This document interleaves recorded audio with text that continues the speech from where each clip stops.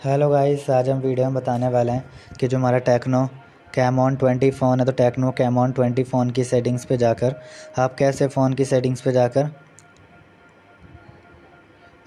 Home screen rotations को on off कैसे कर सकते हैं टेक्नो कैमॉन ट्वेंटी फ़ोन की सेटिंग्स पे जाकर तो आज हम वीडियो में बताने वाले हैं कि आप कैसे होम स्क्रीन रोटेशंस को ऑन ऑफ़ कर सकते हैं और कैसे आप होम स्क्रीन वगैरह को रोटेट कर सकते हैं टेक्नो फ़ोन में।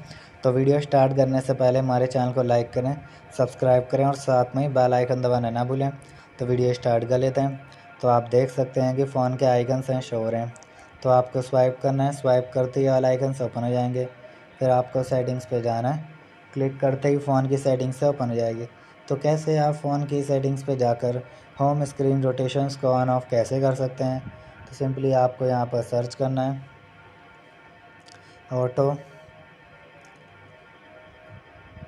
रोटेशंस तो ऑटो रोटेशन सेटिंग्स आपके फ़ोन में ओपन हो जाएगी, जिसके ज़रिए आप होम स्क्रीन रोटेशंस को ऑन ऑफ़ कर सकते हैं सिंपली ऑफ़ करते हैं तो आपका होम स्क्रीन रोटेशन ऑफ़ हो जाएगा, और इसके ज़रिए आप होम स्क्रीन वगैरह को रोटेट नहीं कर पाएँगे, क्योंकि हमने इसको ऑफ़ कर दिया है।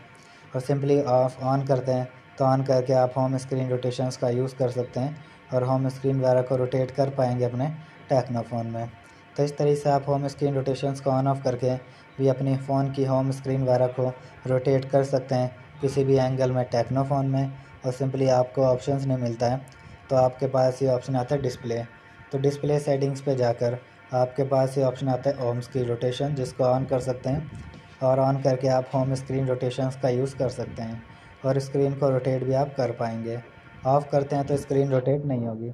तो इस तरीके से भी आप होम स्क्रीन रोटेशंस को ऑन ऑफ़ कर सकते हैं Tecno Camon twenty phone में। तो वीडियो को लाइक एंड सब्सक्राइब करें बेल आइकन दबाना ना भूलें। थैंक यू नेक्स्ट वीडियो के लिए इंतज़ार